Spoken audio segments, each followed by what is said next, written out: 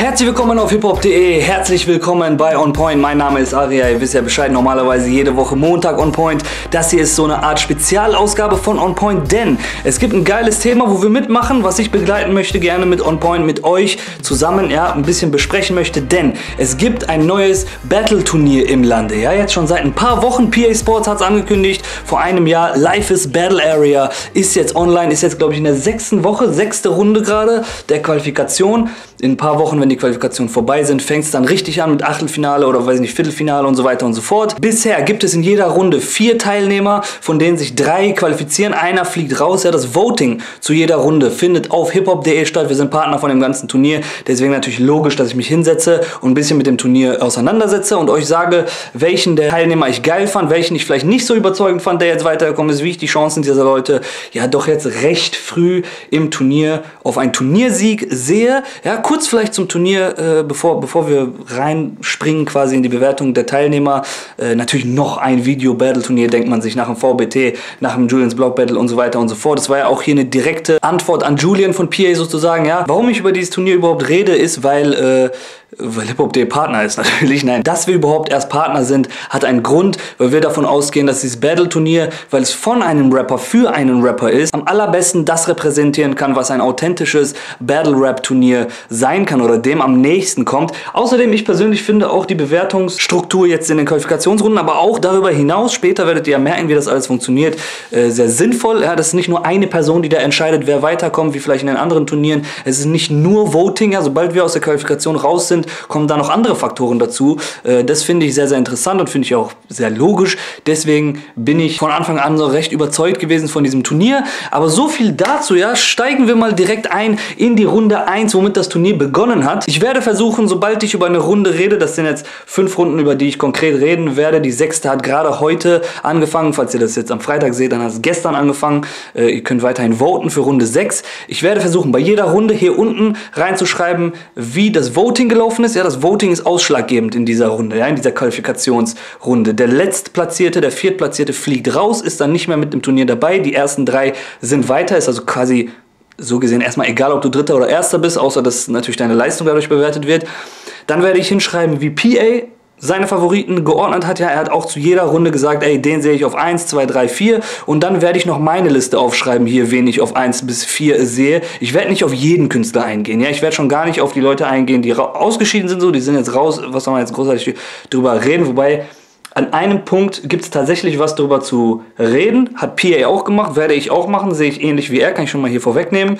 Aber ich werde mir pro Runde so ein, zwei Leute raussuchen, die es, finde ich, wert sind, darüber zu sprechen und so ein bisschen eine kleine Einschätzung zu geben über die. Runde 1 bis jetzt fast der deutlichste Voting-Sieg im ganzen Turnier. Nassib, ja, mit fast 64 Prozent, glaube ich, ja, ein sehr, sehr starker Beginn ins Turnier, muss man wirklich sagen, ja, ist ganz klar verdient weitergekommen, auch auf der 1 in der Runde, finde ich. Hat PA genauso gesehen, hat das Voting auch so gesehen. Ich packe ihn auch auf Platz 1. Es ist ein kurzer Song, muss man sagen, ja, ist anderthalb Minuten oder so, aber er konzentriert sich auf das, was er gut kann und das ist wichtig, ja ja, statt dass du hier in einem Song, mit dem du in, in einem Turnier teilnimmst, ja, deine Schwächen präsentierst, was gar keinen Sinn hat, konzentriere dich lieber auf das, was du sehr, sehr gut kannst. Und das war ein gutes, gutes Rezept auch für einige andere in diesem Turnier. Ich finde, er hat einen sehr starken Flow, das zeigte, das ist sehr on point, ja, er weiß sehr gut mit seiner Stimme schon umzugehen. Und insgesamt war das ein rundes, stellenweise simples Gesamtpaket, ja, das Video war zum Beispiel sehr simpel, aber sah auch wiederum sehr gut aus, ja, also anstatt sich da in was zu stürzen und zu sagen, ich mache jetzt einen 4-Minuten-Song, ich mache jetzt so ein Video und blablablub und das geht alles in die Hose, davon gab es auch Leute,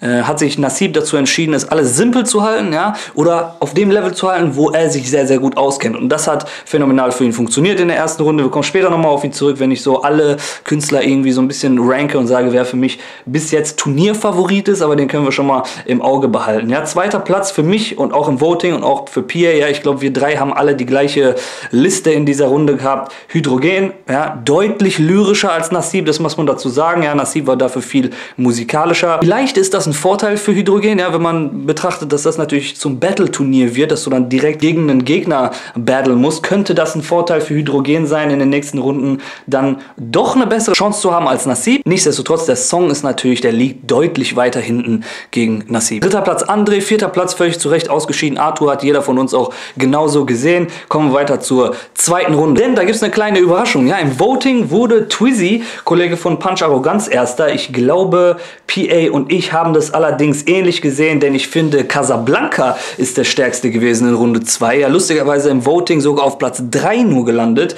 Hinter Gemmo, den ich genauso wie PA auf Platz 3 packe. Ich finde Gemmo, äh, die Attitüde so ein bisschen aus der Zeit gefallen. Das war so ein überhartes äh, krampfhaft hartes Ding. Ja, dem hätte ein bisschen Lockerheit, bisschen Humor gut getan, finde ich. Tweezy auch so ein kleines bisschen ähnlich. Ja, also mir hat ein bisschen das eigene bei Tweezy gefehlt. Der Flow hat mich stellenweise an K1 erinnert. Er ist ganz klar ein Battle-Typ. Ja, also er wird sich vielleicht in der nächsten Runde viel wohler fühlen als jetzt. Er hat auch zwischendurch Disses verteilt an unterschiedliche Rapper, die jetzt in dieser Phase des Battles noch keinen richtigen Sinn gemacht haben. Man hat also gemerkt, okay, auf Song-Ebene wird das vielleicht hier nicht der ganz große Wurf für Twizzy, aber auf Battle-Ebene könnte er noch recht gefährlich werden. Zumal ich das hier jetzt ein bisschen äh, fragwürdig fand. Das Intro und die Hook von dem ganzen Ding kam von Punch Arroganz, ja. Also äh, ich glaube, kein anderer Act hier in dem Turnier. Es gab eine Gruppe, aber kein anderer Act hat sich noch einen fremden Act auf seine Quali-Runde dazugeholt. Das gibt für mich definitiv Minuspunkte so. Nicht falsch verstehen, das Gesamtding ist schon stabil, aber ich denke, in einer, in einer anderen Runde wäre es für ihn noch einen Ticken schwieriger geworden, auf Platz 2 zu kommen, wo er jetzt bei mir momentan steht. Auf Platz 1, wie gesagt, Casablanca ist für mich am authentischsten in dieser Runde gewesen, äh, am wenigsten auch verkrampft von den vier Leuten war wirklich solide, waren keine krassen Lines dabei, aber ich muss generell sagen, dass ich Runde 2 für keine starke Runde hielt. Ja, also das war, denke ich, bis jetzt die schwächste Runde, würde ich so sagen. Also von Runde 1 bis 5 war Runde 2 wahrscheinlich das, wo du mit am einfachsten weitergekommen bist. Und auch der Letztplatzierte war hier deutlich, also vielleicht der schlechteste Teilnehmer überhaupt im gesamten Feld würde ich sagen. Kommen wir zur Runde 3, denn da gibt es beim Sieger eigentlich keine zwei Meinungen. Ja, Voting, PA und ich sehen Ultra 83, Ultra 83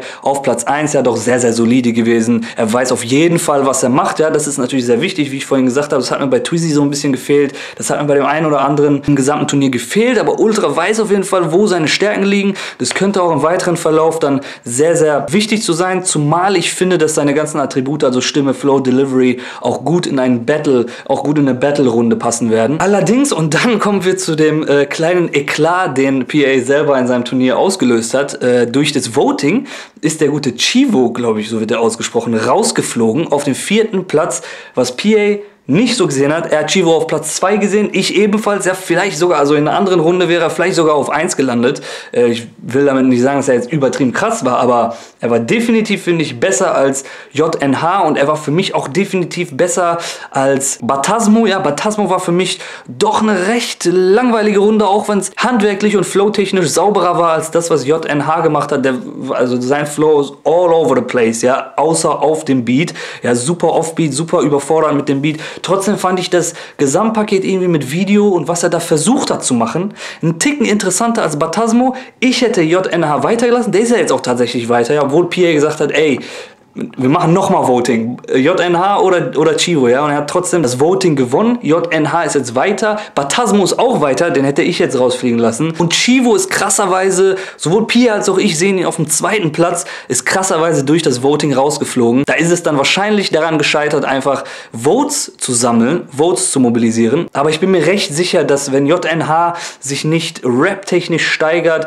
dass er eher Kanonenfutter in den nächsten Runden sein wird für seinen Gegner. Kommen wir mal zu Runde Nummer 4. Runde Nummer 4 deutlich gewonnen von der Mason Family, auch bei PA auf Platz 1. Für mich stehen die Mason Jungs auf Platz 2. Trotzdem, ich fand, dass das Gesamtpaket ja schon extrem überzeugend war, ja, mit den Masken, mit, den ganzen, mit dem ganzen Auftreten. Ich meine, so ein kleines bisschen kennt man die Mason Family natürlich auch soundtechnisch eher traditionell, trotzdem stabil. Ich fand genauso wie PA auch, dass der erste Rapper mit der tiefen Stimme die geilste Delivery hat, die geilste Stimme, geilsten Flow. Also der ist definitiv so der Top Dog aus dieser Gruppe meines Erachtens. Und das dürfte auch aufgrund der Inszenierung Inszenierung und aufgrund der Härte, die die da so an den Tag legen, in einer Battle-Runde noch besser funktionieren als hier. Die haben schon, kann man sagen, verdient gewonnen. Ja, habe ich überhaupt nichts dagegen. Mein Favorit in der Runde wäre aber trotzdem RUD, ja, der hier auf dem zweiten Platz gelandet ist beim Voting und bei PA. Ich finde, seine Stimme war immer noch die beste hier in der vierten Runde. Er hat so ein Kratzen in der Stimme, was denke ich auch live in der aller, allerletzten Runde im Finale quasi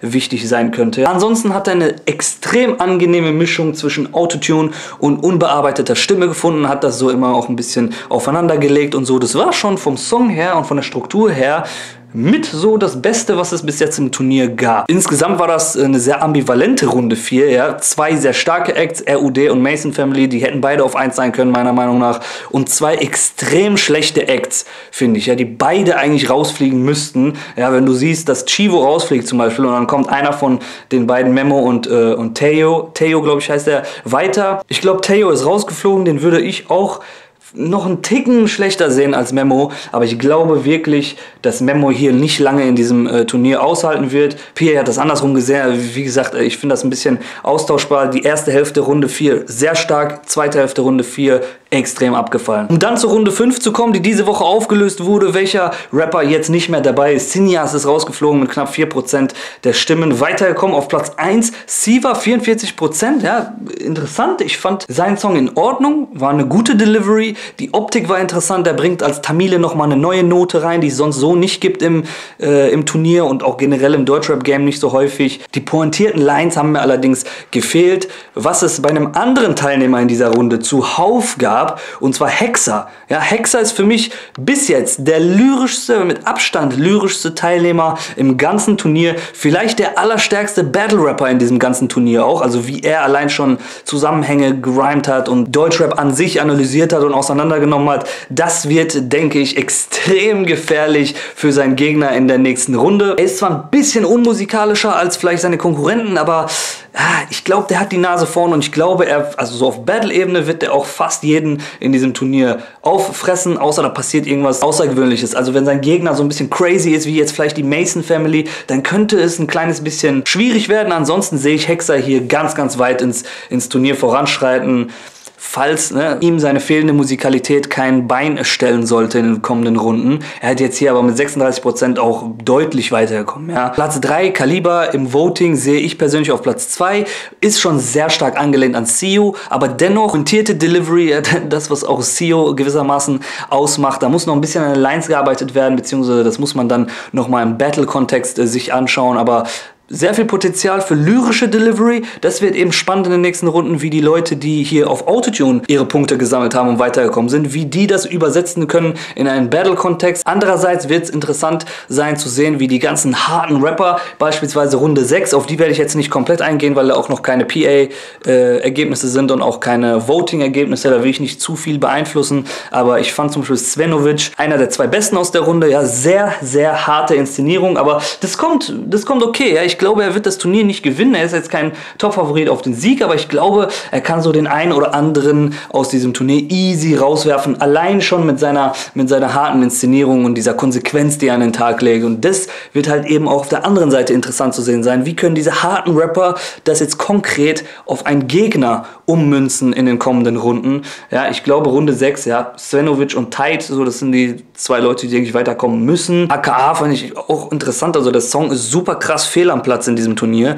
Äh, das ist ja mehr so ein Club-Song, K1-mäßiger Swag. Das wäre natürlich auch interessant sein, so einen Typen dann im Battle zu sehen, ja. Also, wie gesagt, bis jetzt haben wir mehr so Songs von den Leuten gehört. Manche haben schon angedeutet, was sie im Battle-Kontext zu bieten haben. Andere haben sich jetzt eher dazu entschieden, mit einem guten Song die Leute, die Votes auf ihre Seite zu ziehen, was auch nicht blöd ist, ja, weil hier geht es erstmal um Voting, um dann, in der nächsten Runde zu zeigen, wo der Hammer hängt. Ich glaube, da ist so die ein oder andere Überraschung mit dabei. Ja, ich glaube, die Top-Favoriten für mich auf den Titel jetzt sehr früh im Turnier. Ich weiß nicht, ob ich das sagen soll. Ja, ich glaube, ich warte bis zur achten, bis zur achten Runde. Ja, das sind jetzt acht Qualifikationsrunden, das heißt jetzt die sechste, siebte, achte. Danach melde ich mich wieder nach der Qualifikationsrunde, dann ist klar, welche Leute mit dabei sind. 24 Rapper werden bis dahin weitergekommen sein und die 24 Rapper werden dann quasi im K.O.-Duell gegeneinander gelistet. Ja, und dann werden wir uns das anschauen und nach der Qualifikationsrunde werde ich euch sagen, wer für mich der Favorit ist. Ich habe so vier Leute, würde ich sagen, im Auge, die für mich, ja, die zwei, also es fehlen ja noch zwei Runden, siebte und achte, aber von diesen sechs Runden, die draußen sind, habe ich vier Leute im Auge, wo ich denke, die werden das wahrscheinlich unter sich ausmachen, aber warten wir nochmal die nächsten Runden ab. Bis dahin, schreibt mir in die Kommentare, wer euer Favorit ist, ja, was haltet ihr von dem Turnier bis jetzt, was glaubt ihr, wer hat die größten Chancen, das Ding zu gewinnen? Und was haltet ihr von dieser Chivo-Sache, der rausgeflogen ist, ja, wie hättet ihr reagiert? Findet ihr das genauso krass wie Pierre und ich, dass JNH weitergekommen ist mit einem doch eigentlich recht schwachen Song und Chivo mit einem ziemlich starken Song im Kontext von diesem Turnier rausgeflogen ist. Vielen, vielen Dank fürs Zugucken. Ja, Hip Hop Day, ihr wisst Bescheid, wir sehen uns wahrscheinlich die Tage bei 7000 Grad. Neue Themen, Real Talk des Grauens, ja, vom Feinsten mit Toxic und Anita. Kommt die Tage online auf den Channel. Bis dahin, wir sehen uns. Hip Hop Day, Aria, ihr wisst Bescheid. Peace!